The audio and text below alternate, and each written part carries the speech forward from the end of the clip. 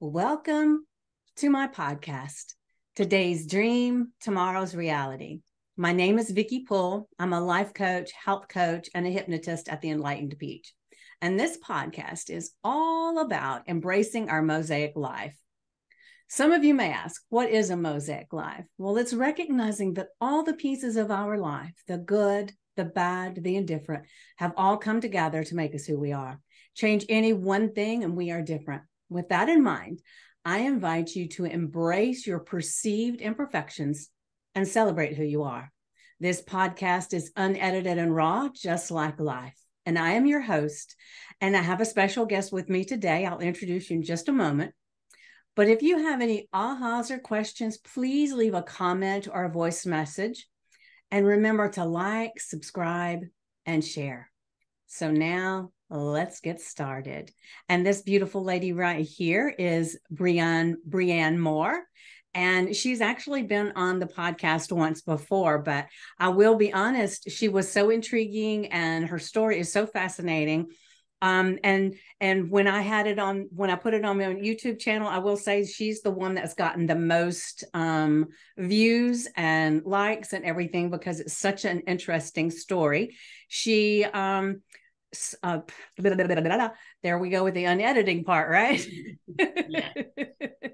but I will let you um, tell just a little bit of your story, if you don't mind, um, just a recap for everybody, and then we're gonna we're actually going today uh, we're going to dive in a little bit deeper into the subject we talked about last time. So, floor's yours.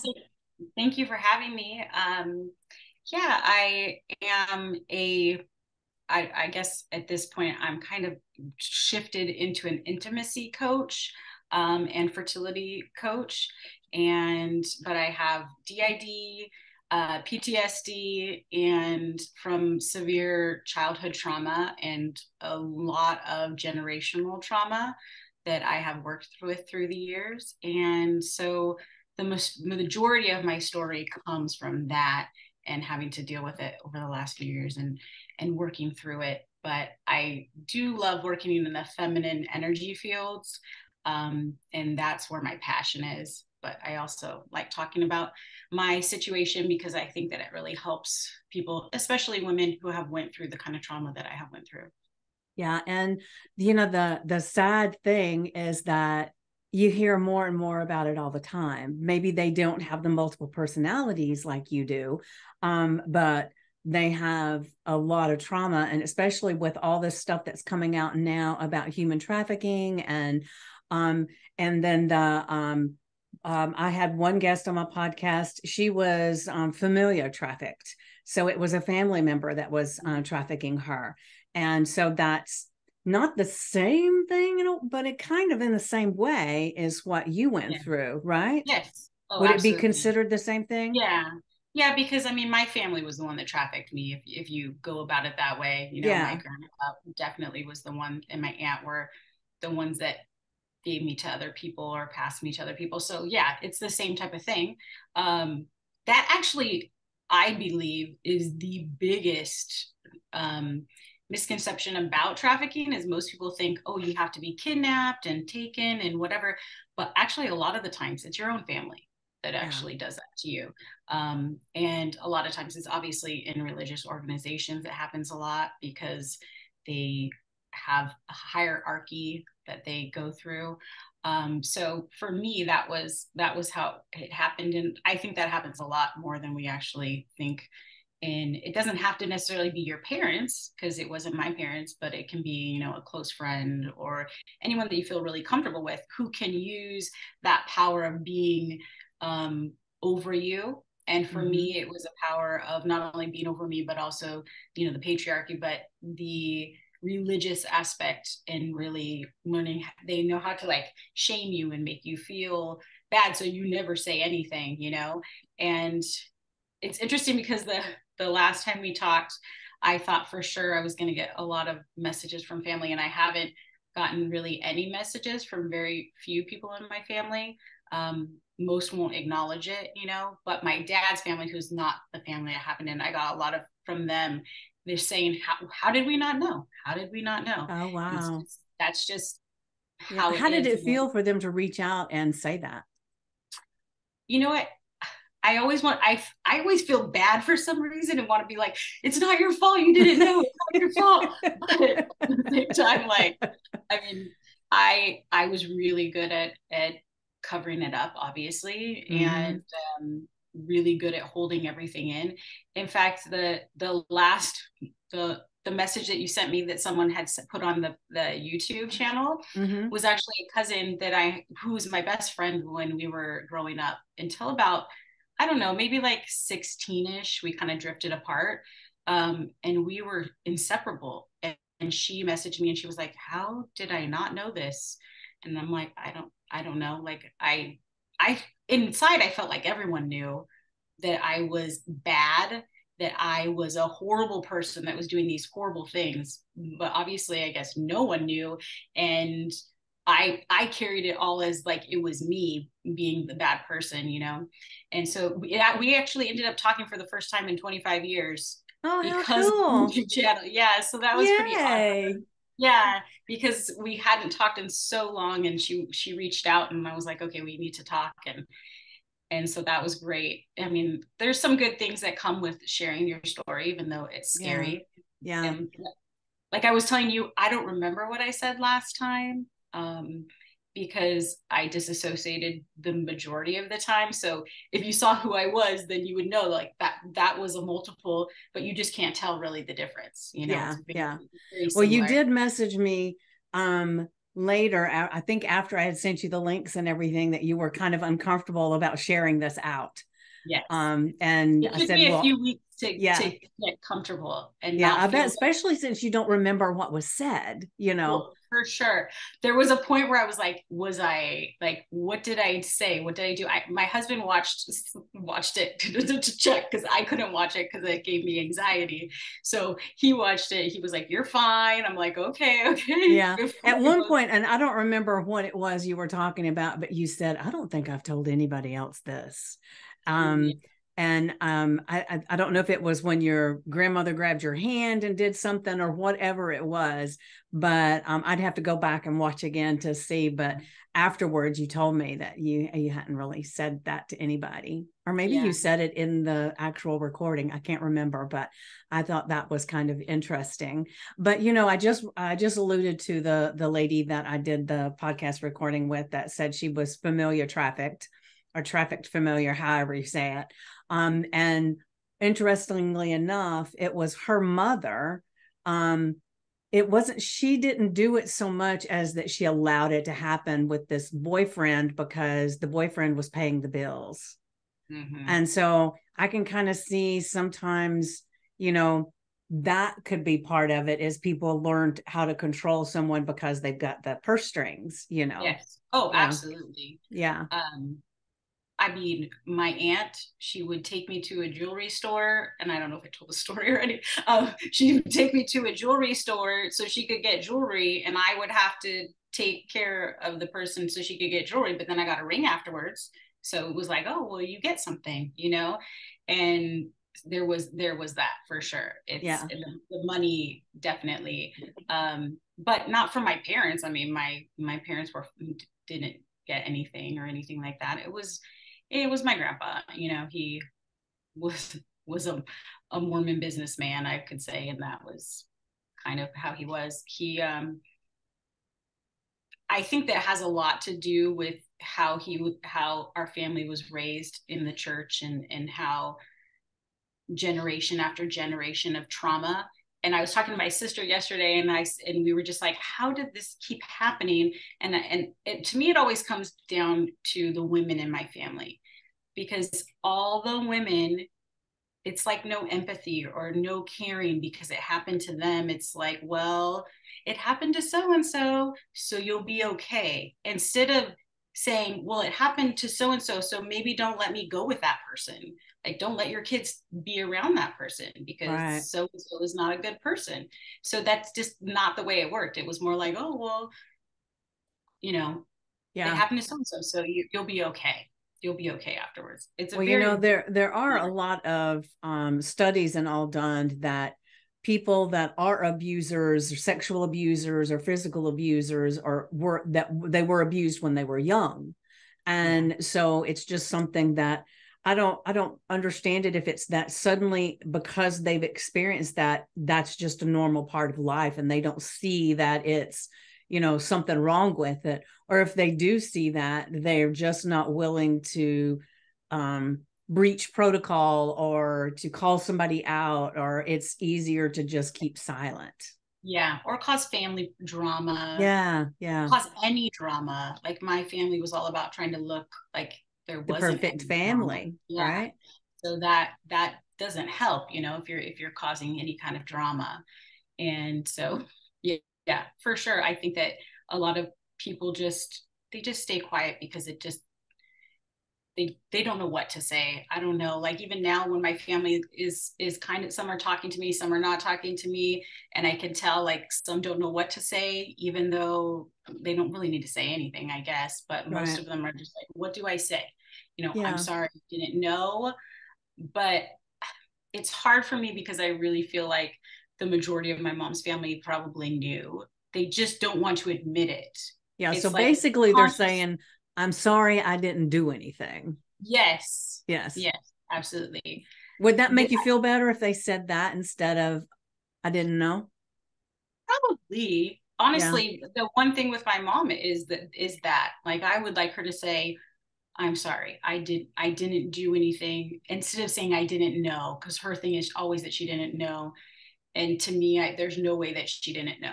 So it would be better if she just said, I'm sorry, I didn't do anything. I'm sorry, I didn't protect you. I'm sorry yeah. that I failed that part of whatever. And then we could probably move move forward. But the whole like, well, I didn't know just makes it so that she doesn't have hold any accountability, you know, and so that's always hard for me. Yeah. And and you wonder if you didn't know, then there has to be in the quiet of the night or sometime when you're not putting up your pretenses as a little kid that she would have to know something was up, you know? Oh, there were lots of signs. Let, yeah. I mean, I started my period at eight years old. I went to the doctor at that time. You know, they did an exam, so you know that they knew. Um, I mean, there's just there's so many times. I mean, I told I'm, I, I imagine I it was like a, a church doctor, right? So he wouldn't say anything anyway. Was it not? Well, he How was did... a he was a family friend, yeah, okay. but not on the side of the church. So I don't know. It's so well, weird. Like, you know, he could have been. I, am just saying somebody that's part of the church yeah. that was the doctor, and then mm-hmm. because he would be more apt to keep the secrets. Mm-hmm. Um, oh, for sure, yeah. yeah. And, and I went to the bishop many times in the Mormon church, and you have to do an interview and if he was really called by god and like had all the discernment and all the things that you're supposed to have being you know then he would know that i was lying to all the questions that he was asking because mormon they ask you when you're a little kid if you've had sex. Like a question that an adult male should never ask a girl by herself in a room by themselves at 12 years mm. old. Right. but they ask you have you ever had sex?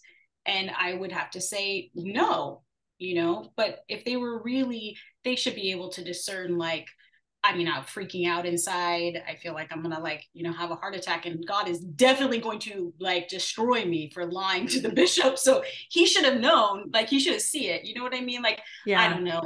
And and I did say other things to the bishops that were never brought up because where I lived, and, and this is another interesting thing, is since I've been speaking out, a lot of women from my what they call a ward, which is a mm-hmm. whole group that comes in an area, have come forward and told me, "Oh my gosh, do you know all the people that were doing things that they weren't supposed to be doing, and and all the young kids that were having like sex and everything?" And I'm like, "Yeah, it was very. I mean, for a religion that is, you're not supposed to have sex until you're married." everybody's having sex like it's just so weird because there's this whole back thing about abuse that's hidden and then all these kids are abused and then they all have sex with each other and it's just this whole cycle that makes you feel horrible and then they tell you every sunday how you're going to hell if you have sex before you're married and so you're just like spinning and feel like you're you're never gonna you know be in the right yeah. place yes and at some point you might be even be thinking you know well I'm already going to hell. So oh, it, for just go ahead and have fun. For sure. but at a certain point, I was addicted to sex, mm-hmm. you know, mm-hmm. at a very young age because because of just having sex and then being like overly stimulated as a child and then with the DID and everything it's actually having an orgasm even to this day helps bring me into my body because I disassociate helps me bring me into my body and it helps like regulate me like i get a regulation and a dopamine hit that i am very addicted to even today like i'm not as bad today like um because i've done a lot of work on it right. but forever i mean i had severe like and most women won't i mean most people won't talk about this but it's always a man's problem it's always like oh men are addicted to porn and whatever i had a huge porn issue when i was first married because i needed it all the time like I right. needed to have like all the time. I needed to have an orgasm all the time in order to even just cope. So I mean, I had a huge problem with it when I was in my 20s. Um, really bad, caused a lot of problems with me and my husband for a lot of years because I just was constantly over aroused, you know. Right. So right. It's it's but I didn't see it. Like I never saw it. Until, you just thought it was a healthy sex sex. Well, I knew I was. I knew it was like over the top, but I didn't think like I didn't see what it was like.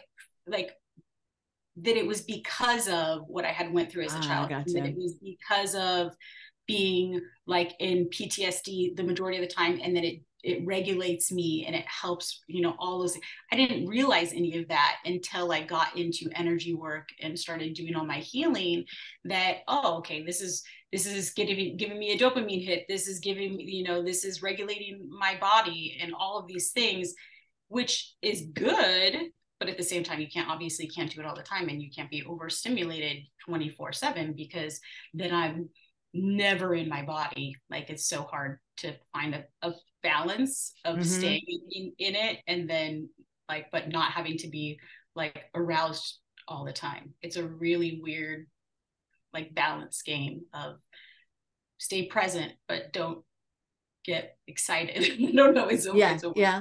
So i'm just curious is it in some ways and this may not be you it may be people that you know about i don't know but is it some ways that maybe after a while it gets to be that's where the the only close place you get is during the the sex act. And so you start you start craving that because it's what makes you feel like somebody cares?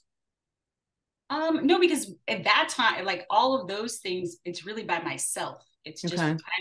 I, and you did have like some very physically abusive sexual encounters if I'm remembering right in the beginning. So yeah, forget yeah. I said that.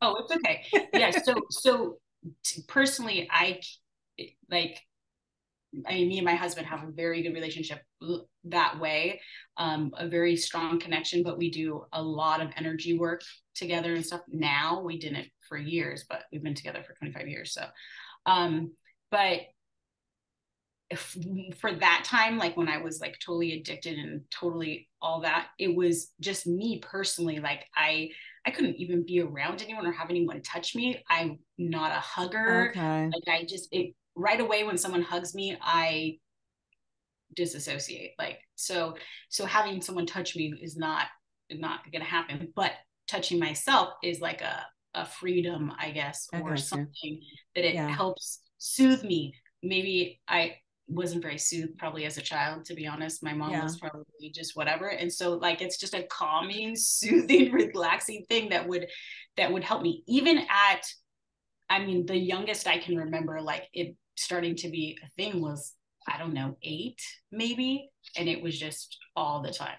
So it was just something that obviously like soothed me and helped me feel better. But i had no idea what like why i guess until mm-hmm. i was later. Okay. Well, I know when we had talked before, you were talking about how you, one of the things that you help women with is that if they're infertile, um, because a lot of that comes from womb trauma, like what you mm-hmm. had. Can you maybe um, elaborate on that a little bit more because we just we didn't touch on it very yeah. much and yeah. i know that's that's part of what you do and it's fascinating to think that that could be what's holding some women back from getting pregnant. Yeah so a lot of times we if you've had any trauma but not even trauma like you started your period and it wasn't a good experience like you know your mom and your dad whoever didn't support you or something happened you hold all those memories usually in that area in the womb. And so we need to clear all of the energies out and go through all of the things that happened. so i always do like well what was your first experience like? Your first sexual experience? What was your first time having a, a period like? Because all those things need to be revisited because it's not just about whether or not your womb is healthy physically but it's also mentally like is your mm-hmm. womb healthy mentally? Does it want to? So there was years where obviously i didn't want to get pregnant because i was young and i knew that i could get pregnant but i didn't want to. So i spent a lot of years going well i don't want to get pregnant. I don't want to get pregnant. I don't want to get pregnant. And then got married and was like well now i can't get pregnant. So how come? But i had spent all those years saying i don't want to. You know what i mean? So i had to like clear all of that out. And it's the it's most of the time us women we do it a lot especially around our periods. Like we hate having our period. It's such like uh, i don't want to have it. And all of those things tell your body that you know well i don't want to have children basically. And so we have to go back and reprogram everything. And um, it's the best work i think because there's nothing better than having someone like tell you oh i got pregnant. And you're like yes you know? And I don't know. It's just, it's beautiful to think that you can go through and clean something that you might think that is like so had so much trauma that it's not possible and that's what i thought for like a lot of years like oh it's just not possible and then i changed because i thought because i started doing all the work in healing and going okay well it is possible and i am worthy because a lot of it has to do with worth. A lot of what we us women hold in our womb is our worth and so that's we really have to come back to feeling like you deserve to be a parent and you deserve to have children which for some reason for most women is really is a hard thing. I don't know why. Like we just we feel like we don't deserve that. And even when we have kids, and half the time we feel like, oh my gosh, I'm not a good mom. So like it's yeah. just it's oh, a oh, cycle. we can beat ourselves up. Oh my gosh, can't we? Sure. And it but it but we hold it, you know. Yeah. Now, if you beat yourself up and you let it go, like, okay, I was a really crappy mom today, and I'm just gonna like beat myself about it, but that tomorrow is a new day like i'm gonna like whatever then that's fine. But if you hold it in constantly forever like i don't deserve to this or you know i'm not worthy of this then your body just goes okay well that's fine. You know? Yeah you don't, yeah. you, you don't need it. You don't have to be it. And we convince ourselves too that we don't. Um so i like telling women like the other day i was at the park and um and this mom was there and her kids were older than my kids because I have a 11 and a, and a three and a two year old. And she's like, Oh, I think about having another one, but I'm too old. And I'm like, You are not too old. And she's like, Oh, I'm too old. I'm 32. I'm like, I didn't even have my first one until I was 33. And I have these two babies and I'm 44. She's like, Really? And I'm like, Yeah, you can have them. It's just whether or not you want to. Like, yeah. if you, you're not too old, you are not we're told that we're too old but actually a lot of times i think when the older you get the better like I, am more capable now i don't know that i could handle the little two two year old the two of them when i was in my 20s and i was full on disassociated the whole entire time and had no idea what who i was or what my life was um, would have been a lot harder so yeah. I think for some women, it does come later. And we have this whole idea about how at a certain age you're too old and i love telling people well you're not too old if you don't if you want them if you don't want them then that's totally fine yeah that's a totally different story want, yeah but if you want to have one and you're in your 40s go for it you know do it. which it. is a good thing because a lot of women brilliantly enough are waiting till they're older to get married and to start yeah. a family you know yeah. they're not doing it like i got married on my my 18th birthday was it 18 Night. Hell, I don't know. Was I 18 or 19? you don't know. Hell, I don't yeah. evidently. Uh, I think it was my 19th birthday. Who knows? Um, but anyway, I but I waited um, five years before I had a child. And, you know, and I'll share one of the, we have some, at that age, we have some of the strangest ideas of things, right? So mm-hmm. I decided that I was not going to have a baby right away because if I waited five years, then my marriage was solid and I was not going to get a divorce. And then it would be okay to have a baby. Mm-hmm. I got divorced while I was pregnant, you know? Yep. so it's you like some something about this does not compute, you know. so at a young age, you know, we have the a weird way of looking at things and mm-hmm. what um, you know, and how things are going to transpire. And so it's amazing, you know, when we're young and these and things happen to us and as we're getting older, not only is it better as far as being uh, being able to be a parent when you're older, but you've also worked through so much of your stuff that you can be a better parent because you're in a better place, yeah. right? Yeah. Well, and I, I don't know if I told this last time or not, but like one of the worst parent things that I ever did was with my first, and my grandpa was still alive, and I had such cognitive dissonance of like not paying attention, like just not thinking about what he did to me, that I put my son and I allowed him to hold my son before he died. And to this day, I feel like, oh my gosh, I cannot believe. But if I was, if he was alive right now with my youngest two, there is no way, you know what I mean? Because I went through it all. I rem- I I dealt with it all. There's there's no going back. But with my oldest son, I was still, I just started going through it and so i just didn't really like think it was still under the rug a little bit yes totally yeah. and that's why i sometimes have to go to my family and go okay well i understand because i did that look what i i mean i let my son sit on his lap and that like to this day is still like oh, i can't believe i did that you know but and, on the other hand did you leave the room and do all that stuff like your grandmother did no see no you didn't do anything wrong no. Oh no. I mean, I was right there, but I didn't even think about it. Like I just was like, oh yeah, he's coming over to visit, and you know, he's your grand, you know, great grandson. So of course you want to meet him. You know, I just didn't even think about it. So yeah.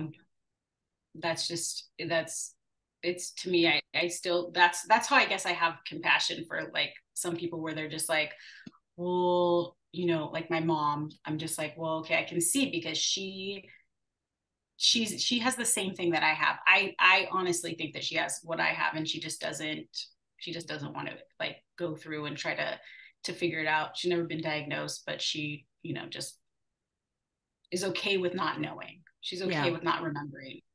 So. Yeah. Yeah. So when you think about that, what does that bring up for you? Anything that she just chooses to not remember? You know, it, it's hard it's hard like we just just don't have a relationship at the moment because of it it's just not something that i can it triggers too many things still I would I'm imagine. not there fully you know i'm not i i mean i want to forgive because that's what i'm supposed to do but i'm just not 100% there yet so we just don't we have a very like superficial we text kind of you know relationship where we were very very close for a lot of years and so I knew when we moved to Oklahoma that we had to, because she we lived in the same city as her in Utah, that I needed to get away so that I could finish like this healing and and go through everything by myself. And then when a lot of stuff happened here and it just got so crazy, it was like, okay, I can't have a a relationship with her like that right now. Like it's just not, it's just not possible. And it's okay. I mean, eventually I don't know, maybe I she says she doesn't want to know what happened to her as a child and she'll she'll just find out when she dies. So that's her that's her thing. And we might well, never be as close as we were. That's yeah. okay. Well, we have, have to make our own choices, right? Yeah, I have to set a boundary of yeah. You know, like I have to feel uncomfortable and I have to be able to stay so so now because i'm really really trying to stay 100% pro- like in my body which is so hard when I talk to people that trigger me, I just can't talk to them because they it's just too much, you know. Yeah. Like I have to be able to to not get that triggered. So I can understand. Then there's very few people that do that to me because the majority of the people that hurt me are dead, and the other few that aren't, I don't associate with, so it's okay. But you know, I know that if my family came around and started saying stuff, then I just would wouldn't talk to them. You know. Yeah. yeah. I don't really care that much, actually. I'm like, well, we didn't have that good of a relationship anyway, so it's okay. Yeah, and I'm a firm believer just because somebody is born into your same little tribe doesn't mm-hmm. mean they deserve your attention. Oh, for sure. Especially yeah. if if they're not going to follow the boundaries that you set or if they're not going to acknowledge what they stuff that they've done for sure. Yeah. Yeah. yeah. I'm like that now. But see, I wouldn't have been like that when I was younger. I would have just pretended like everything was perfect. Mm-hmm. It wasn't until just recently that I realized that pretending that everything perfect was literally destroying me, you know. So I just said, "Oh no, never mind. Like everything is hell." like I'm like I'm just gonna say it all now, and I let it all out, and I don't care now. Like I'm like, "Oh well, you don't like it, it's okay. I don't care because." holding it in and pretending everything was perfect i wasn't going to last much longer like I yeah. just couldn't do. Well, I think one of the things that you said last time was you said you didn't know, and I, I wish I could remember exactly what you said. I should have went and rewatched it real quick before we got on here. I probably should have watched it, but it's okay. But you said something about how um let's see if I can remember how you put it. Um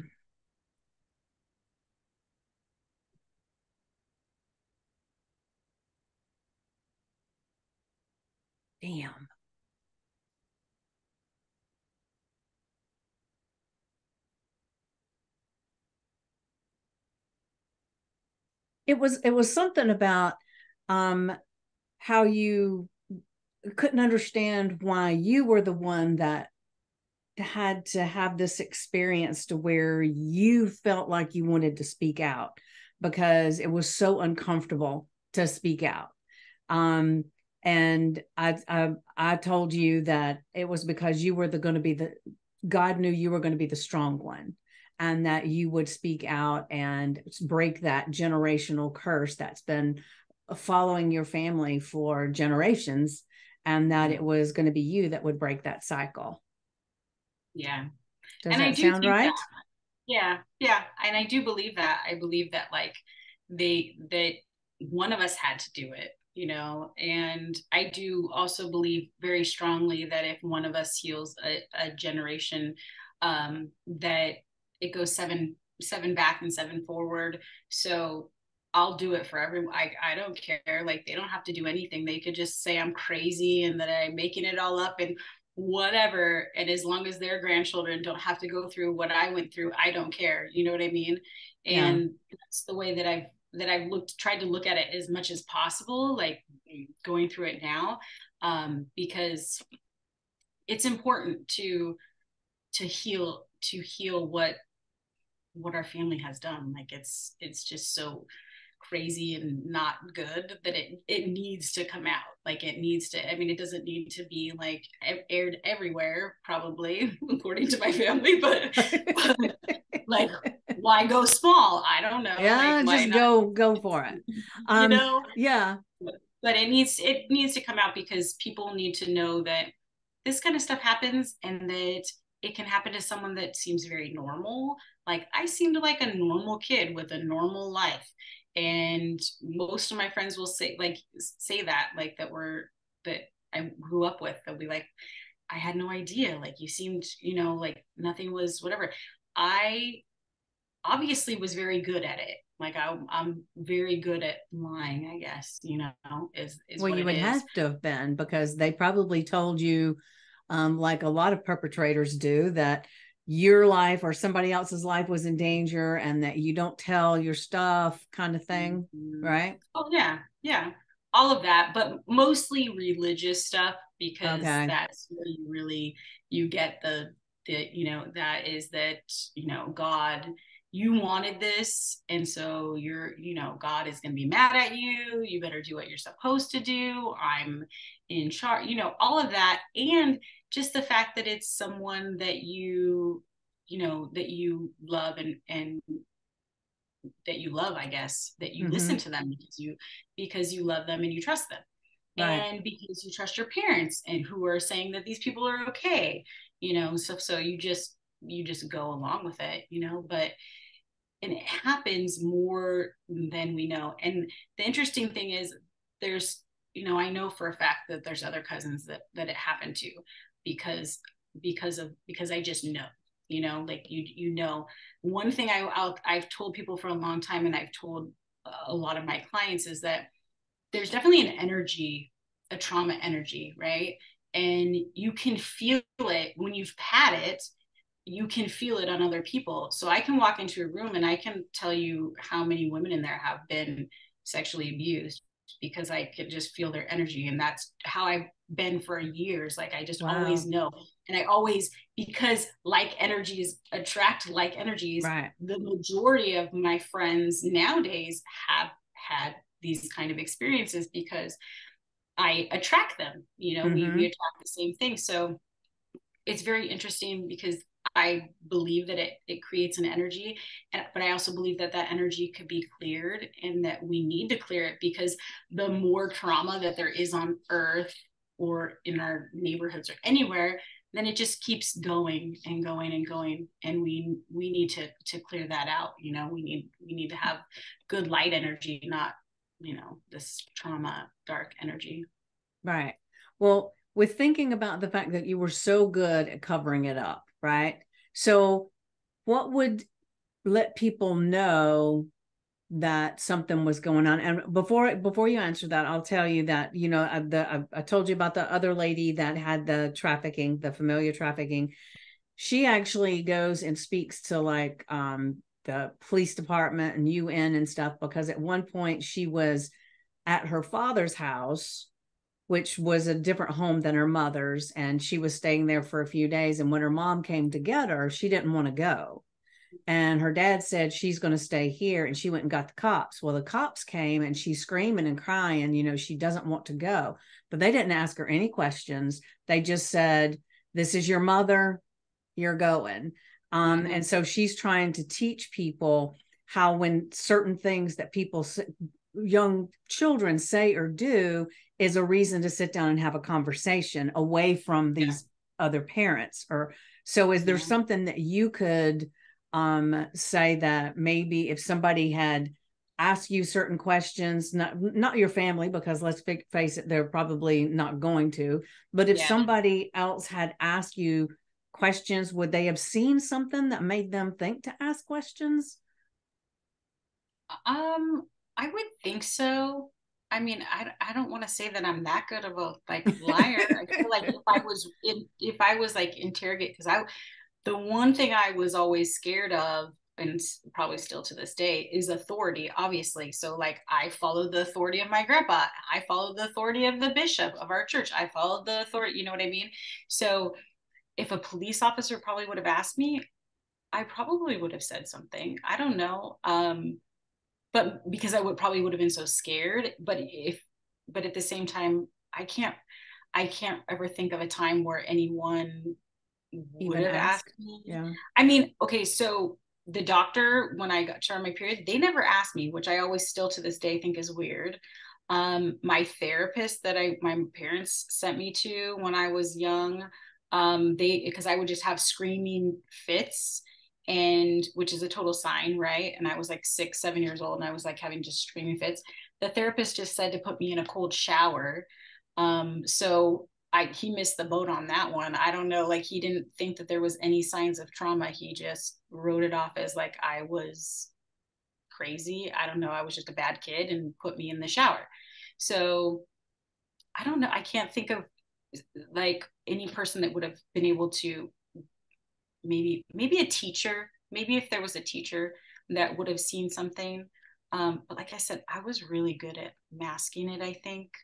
Um, and my mom was the pta president the mm. you know what i mean? The whole nine yards we looked like very normal so i just think that so even if they saw something they may have just put it onto something else without sure. questioning because they yeah. look perfectly normal. There's nothing like that going on.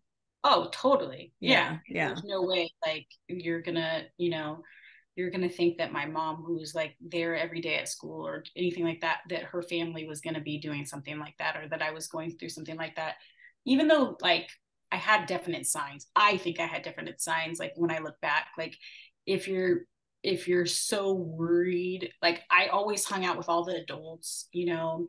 Um, I had a lot of problems with like kid like kids because not a lot but i would have problems with kids um what do you mean and, what, well just like find like making friends because to this day like i don't have that many friends from from being like i mean we're like social but not real friends because i could never tell them the truth mm. right so like i had to always be like whatever. Always on very, guard, and if you're always on guard, it's hard to let anybody in, right? Yeah, so okay. it's very tiring. So I didn't really ever have any like really really good friends, you know, because I didn't want to ever say anything. Like I didn't want to be embarrassed. I didn't want to anything like that. But there there were so many incidences. I'm sure that like there was a time where me and some kids were like messing around and the parents caught us. So at that point, there probably should have been like a, a conversation with everyone. You know what I mean? We were young, we were like six. So there probably should have been a conversation. And there wasn't, of course. And so there was a lot of times probably, but nothing happened. I don't know. It's such a weird, it's such a weird thing because even when I talk to people from my church that were that were there at that time, they're like, how did our parents why were our parents where the where were our parents is more like like where were they because they were just out doing whatever they were doing and all of us kids were totally not doing what we were supposed to be doing and we were getting into trouble and all of these things and the parents were just like totally clueless i don't know they, i don't think they were clueless i just didn't think they didn't care i don't know yeah okay. well i was kind of wondering if there was something like um you could help us with. So if we're like seeing some child and everything seems perfect, then I was just curious if there was something that would like let a light bulb moment go off to where you could say, hmm, maybe I need to at least pay attention. Well, I think that anytime they become like distant is probably a big one. Um, anytime that there's any kind of overreaction that's pretty extreme should be something to look into, especially when they're little, you know. Um, but probably, to be honest, a lot of times there's a physical symptom to that kind of stress. Like okay. I always had stomach aches and I always was like gaining weight and all of these things. So, and I come from a family that's like, I'm the biggest one in the family. Like everyone's kind of teeny.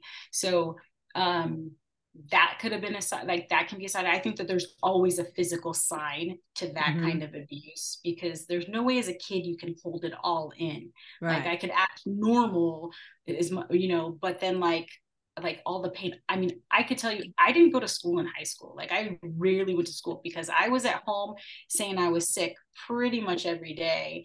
And my mom was just okay with it. But if she really looked into it again, that's like a sign. Like I was depressed as can be.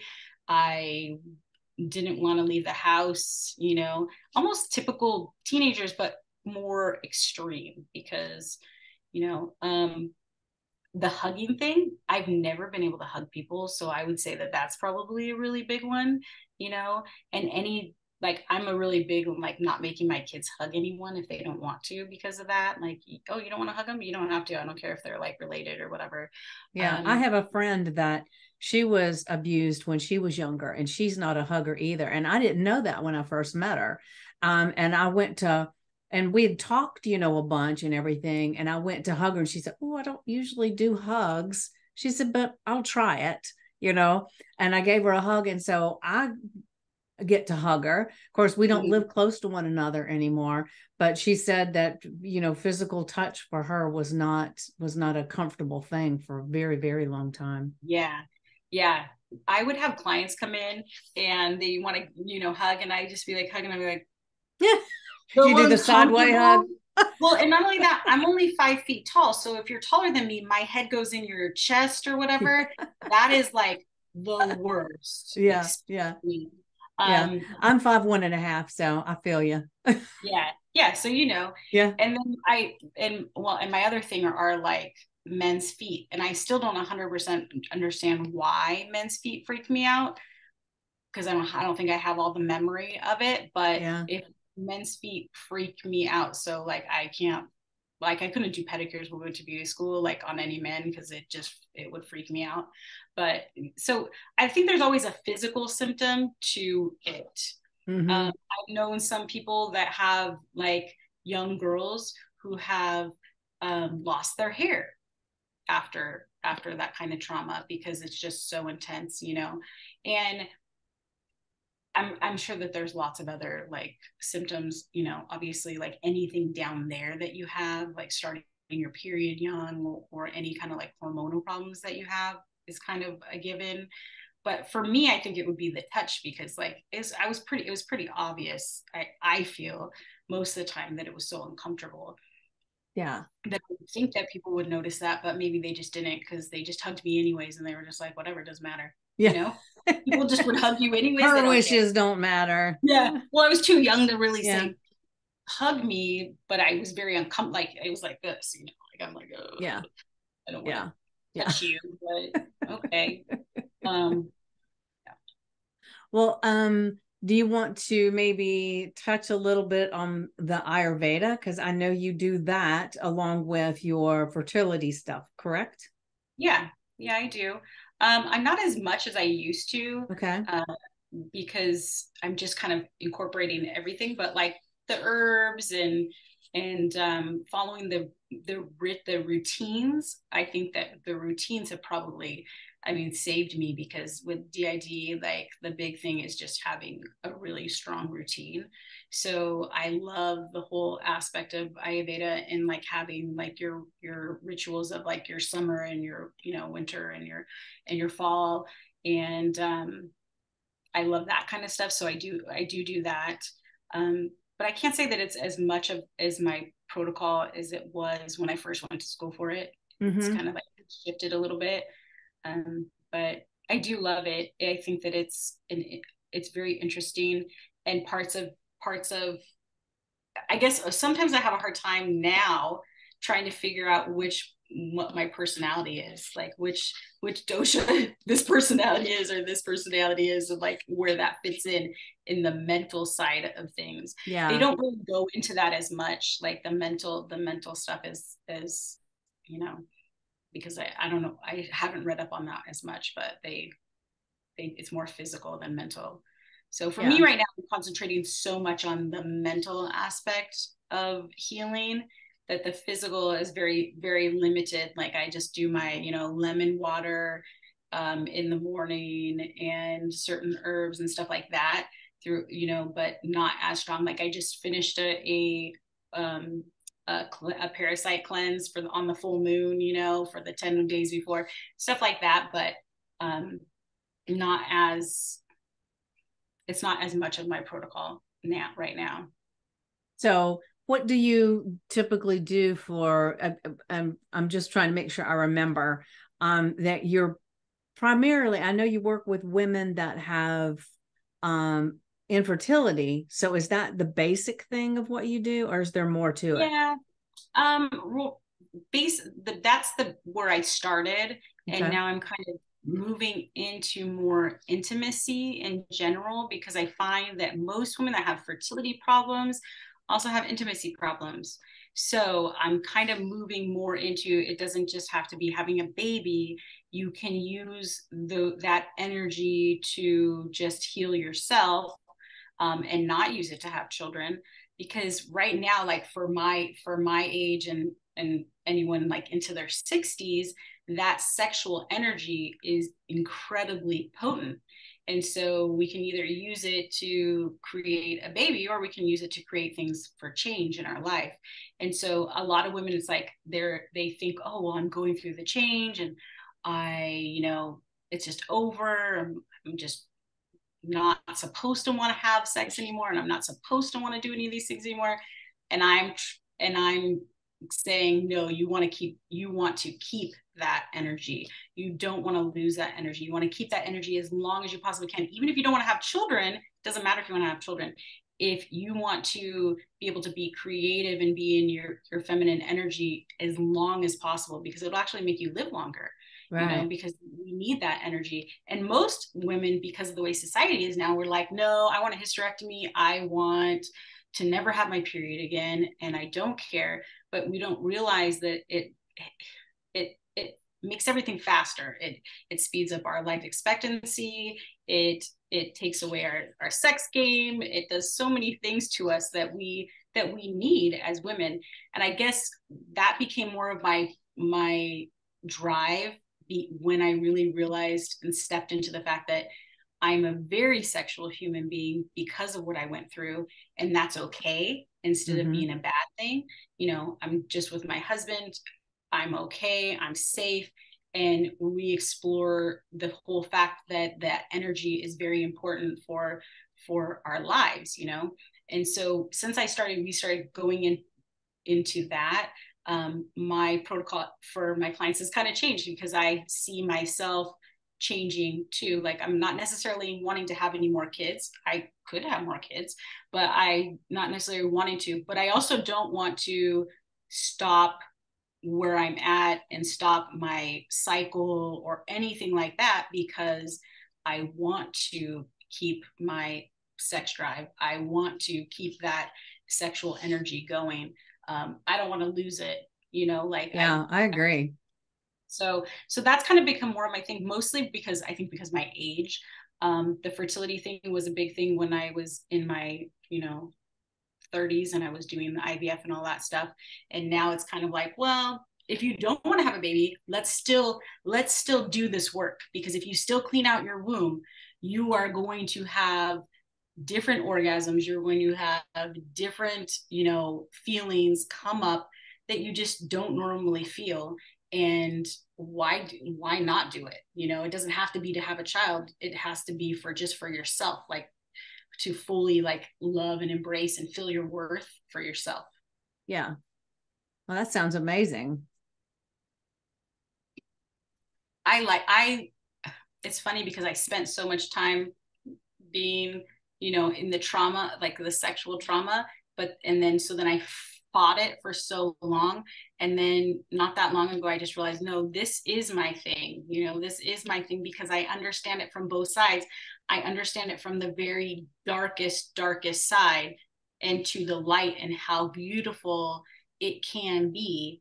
Um, you know, doing the whole, doing the whole like Kundalini rising, and having your energy move through all your chakras and move it up is a beautiful experience that every woman should strive to want to have because it changes everything inside of you. And it, it actually, that was the first time I ever had that experience. It was the first time that I really, really felt my whole body re-regulate itself like extremely. Mm like it was just you know i would get a little bit here and there when i was like you know oh you're, you're masturbating and you get you know whatever. But once um once i started to learn about that energy i it rewired my whole nervous system. It's it's amazing. So i i'm a strong i'm very strong and i used to be like so afraid to say it. And now i'm like i'm not i'm not afraid to say it i am a very strong believer in sex energy. Like it is very important and it's more important for women than it is for men because men it's, it's external to them you know there right. there are things and ours is all internal. We hold it all in. So we hold everything inside of us and we need to let it all out. And so i think it's beautiful. And so it's kind of become more more of my passion lately than the fertility but i mean i still have fertility clients i have a client that's you know doing ivf right now and lots of fun different things so it's it's it's very i don't know it feels good to help women that you know have something that they they need to heal in that area because I understand that. Like, yeah, I, I know what it feels like.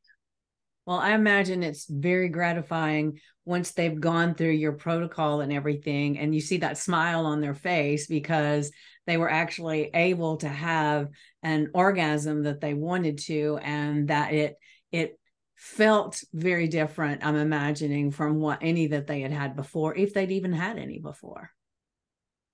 Most women only have like external orgasms; they never have internal so until you've experienced an internal one, like it's so different and mm, like mind blowing that yeah, like it's it was like what? How is this possible? And most women, I, I talk to women, you know, as a hairdresser, you talk to women all day, right? Um, so I would talk to women all the time and they'd be like, oh, no, like I just, it's not my thing. I don't, and I, and I never understood that because I've always loved it. Like I've always needed it, you know, but and always had a lot of shame so i would never say that but now i don't care because i need it and that's okay like that's just what it is you know but i also know that it's a, that it can be an amazing beautiful thing if you if you are obviously with the right person and you feel you have to feel in order to achieve a cervical orgasm you have to feel 100% safe because a woman cannot open in that place if she does not feel safe. So there is a lot of work to be done just within your relationship in order to achieve that, which is great too. So it's kind of like, oh, well, let's work through this, but then it's also kind of therapy. You know, like me and my husband split up for a time. And when we got back together, our whole thing was, and this is probably going to sound totally crazy, um, was that we would we would have our conversations with each other while we were having sex. Like for the first few minutes, it was like, "You have anything you want to tell me?" And well, we're, we're like, and that's how we did it. And it would keep us so that we were calm and that we could rationally yeah. think and stuff. it was really funny. Like, and it was also went with a like you had to do it every single day for 21 days, and it was, and we we did, and it. I mean, it has helped. That helped us so much because it's like there's nothing there's probably nothing better than being able to, to talk about something that you want to talk about while you're also enjoying yourself. So it's kind of yeah. like, okay, well, how how mad could you possibly get it that you know? yeah, it would take a little bit of the anger away, I imagine. yeah, exactly. Well, and the way that that started was I had watched a, a video about two people that were like therapists, and they they were talking about how when they get when they would fight they in order to fight they would get down on the ground and they would stare each other in the face like this you know and talk like that because it made them feel like they were little kids and they could they could be in a softer place and then you don't have so much whatever. And and then in tantra that is part of like a, a, a protocol of just you know connecting energetically you know and opening everything up is that you can't have any secrets you can't have any like feelings that are that are not supposed to be there so you have to express them first and you might as well express them while you're like you know in a comfortable position. So that's that's the way we do it. And it really is life changing i can't express that enough and it sounds a lot of times when i say it i think oh my gosh i sound like a total pervert because because because of how I was raised too. Well, you know, see, now I'm I'm not married anymore. I've been divorced for many many years, but next relationship, I'm definitely going to be bringing this one. Right, right. well, if you start off like that, you will have no issues. I don't think because like, how can you? You know? Yeah, yeah. You annoyed me today. Okay, okay, okay. like, I'm okay. All right, let's go to the bedroom.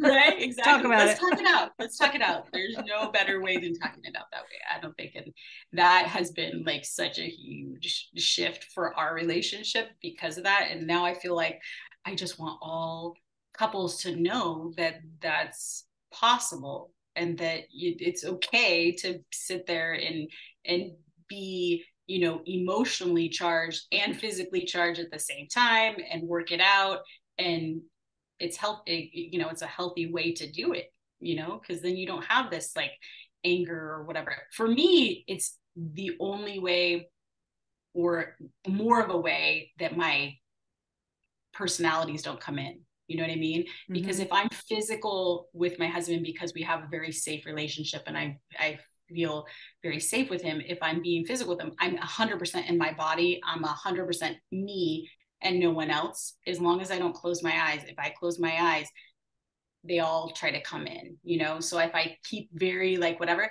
so for me it's very good because we we share eye contact the whole entire time. I'm very in my body. It feels very safe. It's the best way to communicate actually for me. That's wonderful. Well let me ask you you said they all try to come in. How many are there? Do you know? Seven. 7 mm-hmm. all right and I think we talked about this before, but I'm sure a lot of the people that are watching this may not are, are listening to this may not have seen that episode. But um, you had, um, if I remember right, you had one that was a a young girl the same age as your son, right? Yeah. Yeah. Mm-hmm. Um, but then I don't remember anything about the other ones. Um, well, so I have the first one was is actually a see i don't i believe that they're an individual i think i said this in the last one that they're an individual soul that has stepped in so they're mm-hmm. considered a walk-in um, for me that's just the best way that i feel the most comfortable with the whole situation whether okay. or not that's really real i don't know but that's the way i see it and that's the way i always felt it so the first one that walked that came in was my was my um, great grandma and she protected me. So the the new thing that i have learned through the work that i'm doing right now is that because energy is attracted to the same kind of energy and this was really hard for me to come to the realization i just came to the realization not that long ago um, that because it's a trauma event right and you're in trauma and because you're getting a walk-in that's coming in a, a soul that's coming in and taking over the soul that you're attracting is whatever energy that you're at at that moment right mm-hmm. so it's a dark energy most okay. of the time um and unless you ask to be safe from from what i've gotten from from my guides and my help and jesus and god and everyone that i've talked to about this um that if you ask to be saved during trauma like that, then an angel will step in and, and something good will step in and help you, right? And but if you ask to die, then something demonic or heavy or bad can step in. So in my experience, I only have two that are actually good, and the rest are not in my best interest whatsoever. You know what I'm saying? So I think the last time I told you I sent one, I yeah. made one lead. Mm-hmm. Um, and that was definitely like a negative, bad, you know, soul. I don't want to say totally that they're they're bad, but they're they're they're not for my best interest. They're right. they're which to, they were in the beginning. They were they. Well, they so, protect you. Yeah, they yeah. protect you, but at the same time, they have probably their own agenda of of confusion and manipulation and taking over you at the same time because okay. they come in and they're they're attracted to that bad situation and they help hide that bad situation but then they also help make you feel that energy all the time when they're present so like when she was present my energy was definitely like psychotic and crazy and angry and all of those things that she is do you know what i'm saying mm-hmm. so and that's the one you got rid of, right? Yes, that's okay. the one I I have told to leave.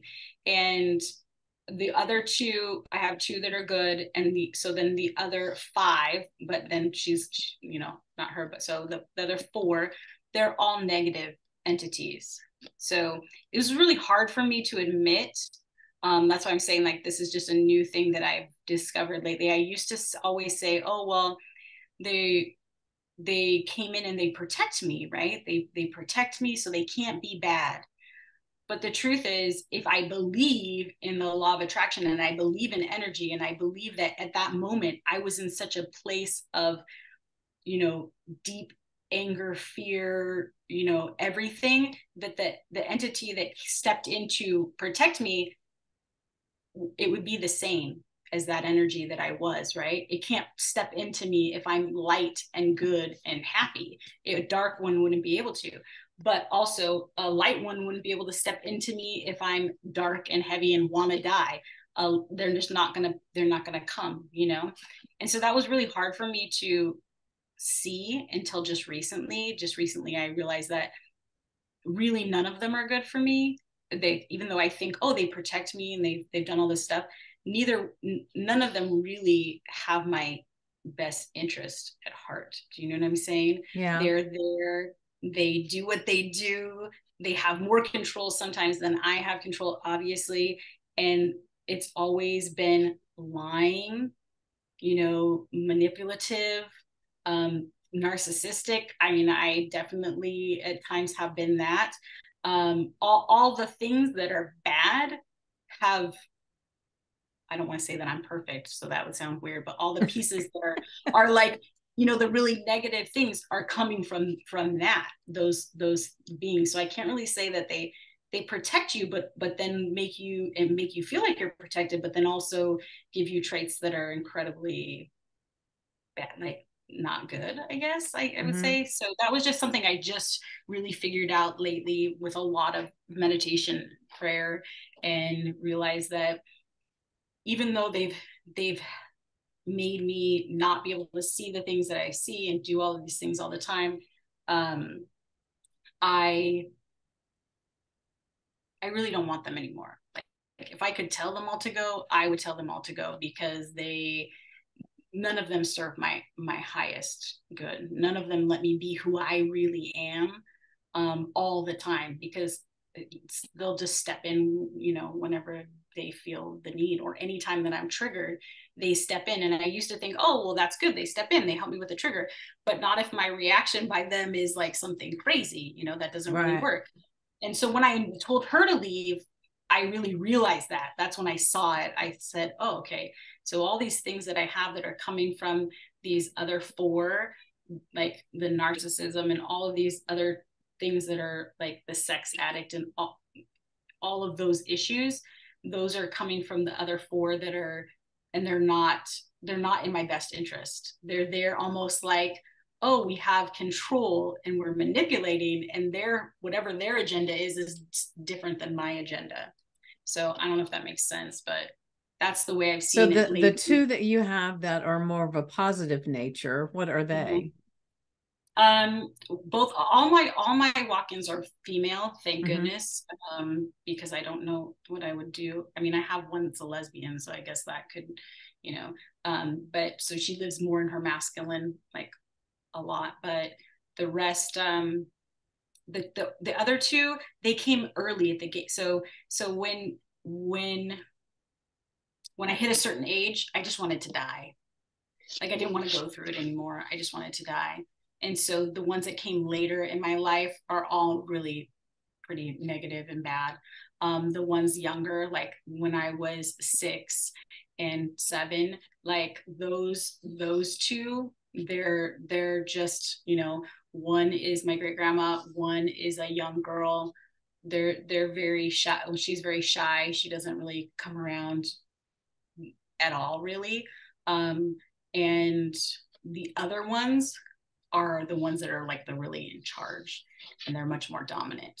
And my other two, like they they sit back the majority of the time. Um, they're more emotional. They're more they're probably closer to me i guess i don't know like maybe that's w- what it really is is they're just closer to what who i really am mm-hmm. um but I, it, but I didn't ask to die at those times, which it, to me is significant in the whole game because the times that I asked to die, those ones are the ones that are that are like they still want me to die. Do you know what I mean? They're here to like to protect me, but not protect me. They still want me to like do their bidding and do their their things, I guess, kind of. Um, make me do things that I wouldn't my my personality wouldn't normally do. Um, so, but so if you were able to get rid of that one, can you not just one by one? So I strongly believe that I could get rid of all of them um, because of because of all the work that I've done in the meditations and all of those things that I've done.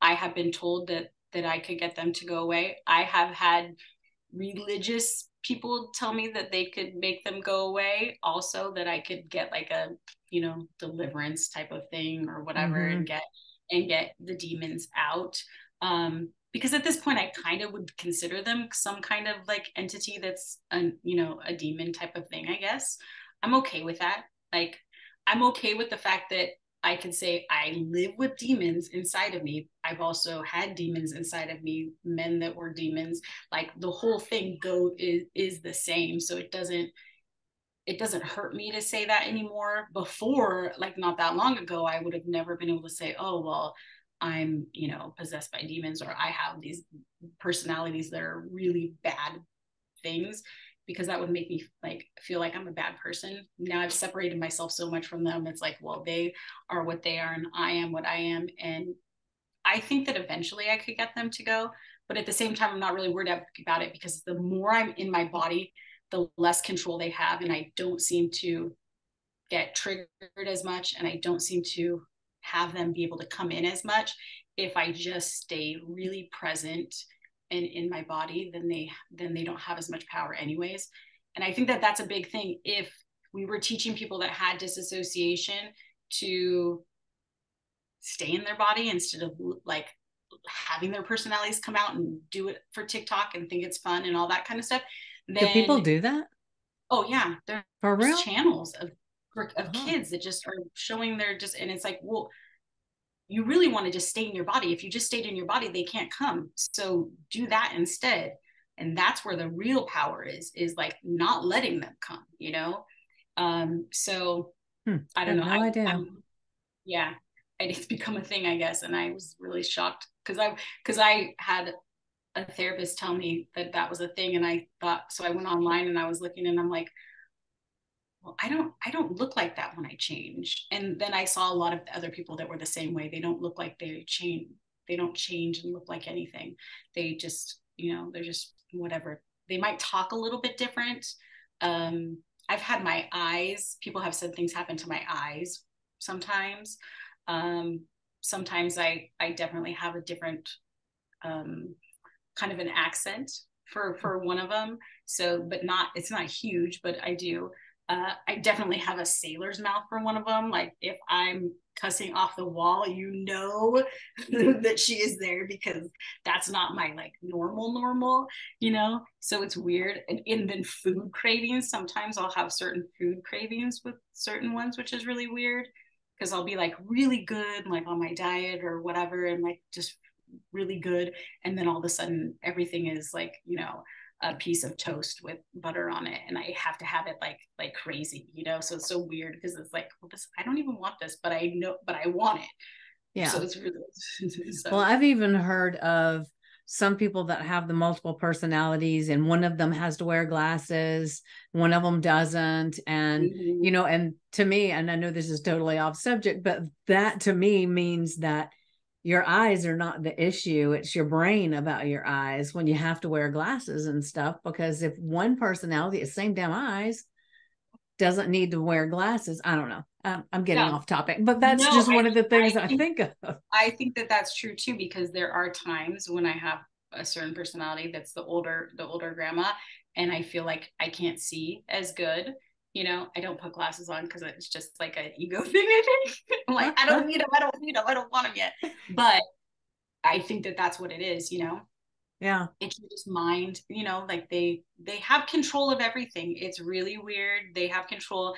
It's like you're sitting back there, and sometimes I, I'll feel like I'm screaming, trying to like say, no, I don't want to do this, or no, I want to like, um, I don't want to make that decision. You know uh, lately my thing is when they're when they're taking over is to try to like say a prayer like my inner child will say a prayer so that I can try to like come back to myself, you know, like and get that discernment from who's in charge right now. Like, yeah, I'm in charge, you know, like it's hard to like know who's in charge. And and I used to think, oh well, they're saving me. It's okay, like it's okay. They're like they're doing it, but I don't think that way anymore.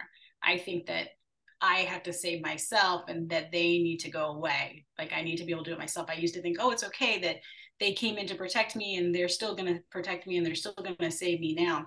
And now I think, no, I have to do it myself. Like I need them to go, you know. And I think that they go, me personally, my my thought is that the more that I'm present, they'll just have to go because they just they can't live with me, right? They can't they can't live attached to me if my if, energy if they're always in the background. Yes if they're why would they want to you know yeah. like well you know i was going to ask that so because i'd ask you if you were why didn't you just make them all go if you could get that one to go but what you were saying is that you know you through meditation and different things that you're doing to heal yourself that they come out less and less. So from what you're saying if i'm understanding correctly is that as you're healing and everything, maybe they'll just start dropping off one by one by one? I think so. I think so. And a lot of it does. Like when I told the the one to leave, a lot of it that that week that I was really doing, I was doing a lot of work on that area of my life, and I went through refeeling the whole so in order to heal my trauma i've had to refeel all of the experiences that i had and integrate them into my body because they stopped me from feeling it you know i wasn't allowed to feel it or see it or experience it really in real time. Like it's kind of in the back you know back of your mind not like up front. So in order to heal from it i have to re-feel it and go through the whole entire experience again. And i went through the whole entire experience of when she stepped in. I i felt it all. I i went through all of it again and that was when i was really like okay well i don't need you to protect me from this situation anymore because i'm i'm fine. Like i'm healed. So you have to go because i don't need you and you're not serving me. And i and and that so i think that they will go away. Honestly i i think that and i also i, I want to say this i also think that like it just might be my mind and the fact that i think that i can do it versus like maybe other people are just like, well, I'm just stuck with them and I'm just going to live with them forever. My mind is saying, no, I don't have to live with this forever. I can heal myself. Like that trauma doesn't get to have control over me forever. Like I have to heal from it. There, there has to be a way, you know, there has to mm-hmm. be a mm-hmm. way to not have this forever because some people hurt me when I was a child. Like they don't get to be inside of me and be whatever forever. Like that's just not that's not fair, right? Like I, right. I get to if I do the work, I get to move on from this part of my life and and not have this these issues because of it. Right. Like that should be just and just like healing your body physically, like if you do the work, like your body's gonna heal, right? So it's the same thing. Like if I'm doing the work, then they they they have to let me go. I guess I don't know. Like that's just the way I look at it. Like I think, okay. And maybe I just think I have more control than I really do that works. Well, we're just going to go with the assumption that you do have control. Um, yeah. So, because who knows, right? So yeah, you right, just have to put that energy out there. Yes, and so yes. let's go with. Um, let me ask you. So, who will Breanne be when she no longer has these personalities that are stepping in and um taking over at different times? Who will you be? Oh my gosh, that's I don't I honestly I, half the time I don't know. I will definitely be someone that's very passionate about um, intimacy, uh, energy work, um, fertility work, because those things have healed me in such a, a strong way that though that definitely will never go away. Trauma meditation. Um, and a mom, which a lot of my life I fought against and then became a mom and still kind of fought against. So like that, um, and a wife, I don't, I don't even know. I, I don't mind telling my story. So I probably, you know, talk about it and, mm-hmm. you know, maybe be a speaker, but it's hard because I, I don't know. It's hard to say like, cause it takes me, there are days when I'm disassociated and it's really hard to do anything you know what i mean? Like i have to spend so much time on myself. It's very it becomes almost a vain a vain thing where i have to stare at myself in the mirror and like actually see myself versus see all the other things you know? Mm-hmm. and um so sometimes it takes longer than others to to be i don't know normal. I don't even i can't say well who's normal. right exactly. Hey I, I don't have multiple personalities. like I don't have multiple personalities that I know of, but I still have to do shadow work all the time. Right. Because yeah. I have, and you know, we all say that thing. Well, part of me wants to do this and part of me wants to do that, you know. Mm-hmm. Um, and it's not the same thing, but it's similar and that we've got you know something what? else in our mind saying, nope, this is better, that's better. This yeah. you just have to yeah discern. I think it's very similar to be okay. honest. And I, but I also believe that more people have walk-ins than you could ever imagine because we just think that it's uh like you said a part of me wants to do this and a part but actually if you've had a trauma the chances of you having a walk-in is very great because they use that negative energy. Oh no. What i can hear you. You're still there. Oh, you can hear me? You can't yeah. see me though right? I can see you. Oh you can't. how weird. It went black. Um, they do well, not like what i'm saying right now. that's right. We can see you. You can't see okay. us. okay. Um they do not they like that energy. They feed off of that energy that trauma energy. So i str- oh and there she went. Or maybe i did nope we're still recording. So obviously somebody didn't like what was going on. So let me see if i can find out where she's at and get her back.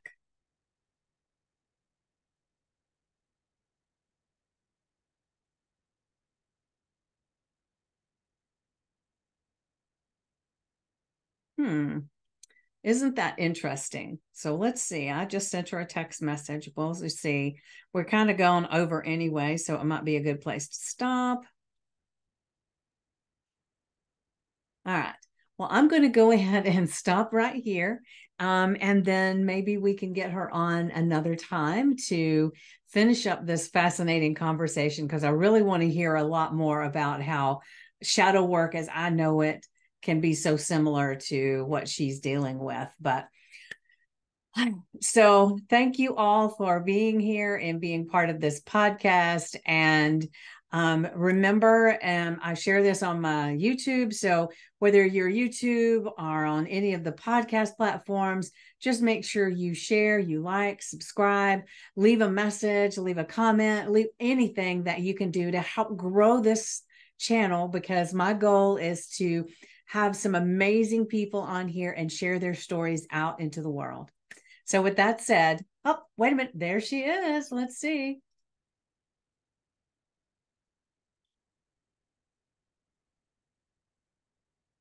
Let's see what we can get her back on. I don't know what happened to my computer. So that's now... okay. I was just, I thought, well, we'll go ahead and end here. So I was just going ahead and telling everybody, but there you are. Because I said I was really curious. Phone. Do what? I'm now on my phone because I don't know what happened to my computer. It just decided to hmm. not work. Yeah. I know. That's that energy coming out. mm-hmm. yeah. Yeah. Well, I if you do you have anything else that you want to say about the because you were right in the middle of saying something about the oh, shadow work yeah. and stuff. Yeah, I do believe that a lot of people that have trauma that they have walk-ins that they don't even know that they have. And so I think that a lot of times we do all the shadow work and oh, we've done all our work on all our ancestors and we've done our our you know shadow work and we've done our past lives even, but we don't look to see if there is some kind of something in from the trauma that has attached to us. So how because, would they know that? Um, I think that meditation is usually the best way to come through it. Like when you're when you're in meditation with yourself, really, really with yourself, and then you ask certain questions, you know, before or after. Like um, well, you talk about your trauma, like you ask questions about your trauma, like okay. what happened. You can just ask. I, I I'm a big believer that I don't think that they can hide that from you. Um, that they have to almost disclose it kind of like that they have you, you have to know so if you ask if anything has come into me during that mm-hmm. trauma then then i think that you'll you'll find out i think that's the best way to do it is just to ask okay. um, and you'll know because if you ask yourself your body will probably tell you because they usually are are held in a certain area like i think i told you before like um i have the one that's in my shoulder right? Like that that every time i ask a question of it my shoulder shrugs. I have no control over it whatsoever. It's just the weirdest you know thing that's just it lives in my shoulder you know?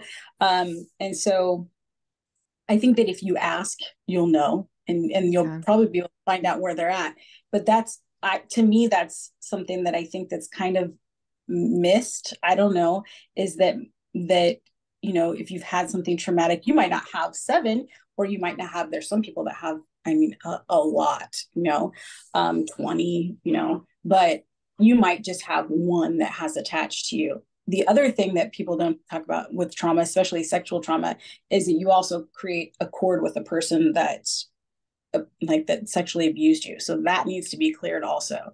And that's a big part of like any kind of like fertility or intimacy or most i don't know any kind of energy work for like females is clearing all that mm-hmm. that's yeah, I do that um, cord cutting a lot when I do like some past life regressions with my hypnosis. Um, mm-hmm. and then we will we will cut different cords that need to be cut but you know because we I always make sure that they see all the cords that are there and they make the cords that are a negative or need to be gone they make them a different color so they only cut the ones that they don't need to keep yeah yeah yeah that's beautiful too. I think that that's so beautiful because it's like you don't think about it, especially even just like if you have sex. If if there's someone that's had sex with a lot of people, I'm always like, oh, we got to take care of that first. You know, like you're trying to have a baby, but you've had multiple partners. You don't want their you don't want their energy inside of you. You don't want any of that stuff inside of you. They're you know you have a connection with them, and you have to get rid of it. Yeah, yeah that's one part of the the church that i always think about now is i think well they they would talk about only having sex with like you know just the person you're married to and i and not that i think that that's totally right but like sacred union is very important i think in the whole act of of sex and the sexual energy and so i think that oh okay well churches sometimes have part of it right but then they have all the shame and the the worst stuff that that doesn't yeah. help it makes it yeah. worse yeah i agree well, we've gone over a little bit, but this has yeah. definitely been fascinating. I've loved every second of it. So, um, you know, and I think I could talk to you forever. I don't know what it is, but it's like you, you it's like we just keep on talking. Right. Um, but um, I will go ahead and say uh, thank you so much for being here and for popping back on when things happened. And um, I just, I just love you. You've got such an amazing energy about you and presence and um, I just feel like I've known you forever, even though we've never even met in person. And uh, so, so I, I, appreciate you greatly for being here. And is there, there's one question that I've started asking um, my, my guest at the end, and I'm going to go ahead and ask this for you. And I, I wouldn't think it would be a trigger, so let's hope not. Um, mm-hmm. but what would you like for people to remember about you or say about you when you when you're no longer with us um, probably that she or that i um that i never gave up mm. that i that i worked through everything that i possibly could and i tried everything to be like you know healthy and and happy and even with like everything that happened like i just i didn't give up or that i just didn't give a you know what and i and i said it all and who like you know what i mean like one of the two she's just a bitch and she fought it and she told everyone's stories and she's just you know a blabbermouth that or she just never gave up one of the two both are fun. Both are really fun. All right. Well, you know, it'll what'll happen is there'll be one camp that says one and one camp that says the other. So you'll get your wish. I know. So, that is just beautiful. So thank you so much for sharing that. And um, I look forward to chatting again. Yeah, thank you for having me.